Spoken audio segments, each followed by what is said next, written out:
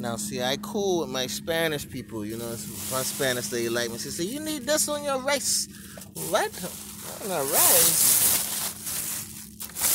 Uh, she gave me all this shit before Friday. You know, Friday. You know, everybody get paid. Them, hey, them Migos, them lady Migo cook, boy. They be, they be cooking some meals. Oh, she did give me the steak. Give you steak.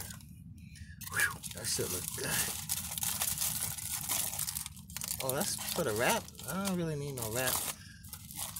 All right, thank you, Father, for the food show. My deed name, Father, Son, Holy Ghost, Amen.